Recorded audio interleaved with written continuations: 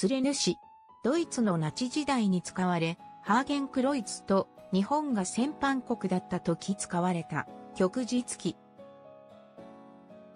の写真を使って理解しやすくコラージュを作成してみました。日本でイヤガンデモをするときは多くの場合、ナチスの旗も持っていますが、それが愚かに見えます。韓国の反応。いくら日本の戦犯機について説明しても、西洋の奴らは気にしないようだ。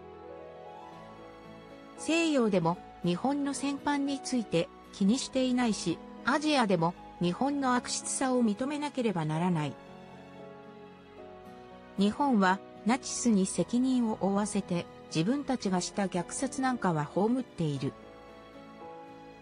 西洋ではアジアでハーケンクロイツと同じ朝日旗には寛大。ドイツはナチス以外のところでハーケンクロイツを使わないので線引きがとても楽でしたが、日本はそれ以前からそれ以降も朝日旗を至るところで使っているので言い訳がひどい。西洋人は日本に直接やられたことがないので当然気にしません。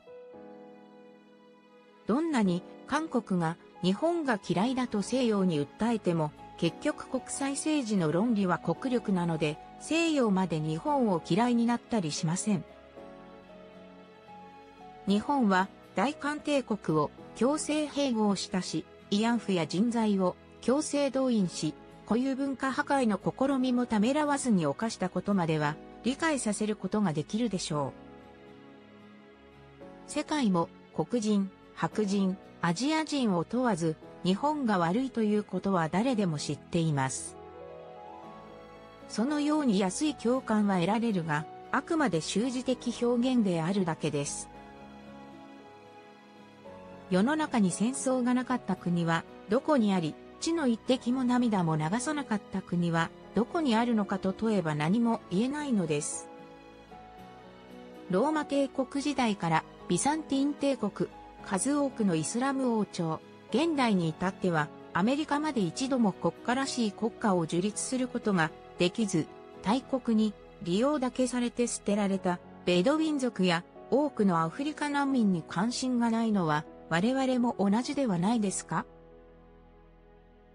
戦争で侵略された部族と当時の我々の立場は同じでした。力がなくて兄弟国の将棋駒に転落した立場です。かし、今は違うのが、韓国は国力があるので声高に、日本は悪いと言えるんだ。ヒトラーの横をどうして安倍をしたの？あの時代の人物にした方が合っていないのか。